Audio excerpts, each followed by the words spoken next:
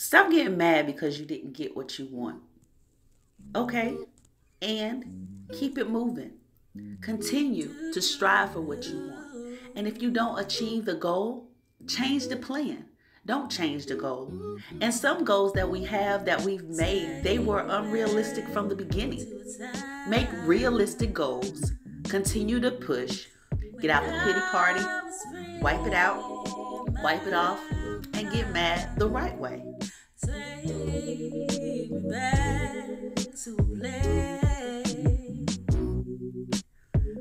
where the memories cannot be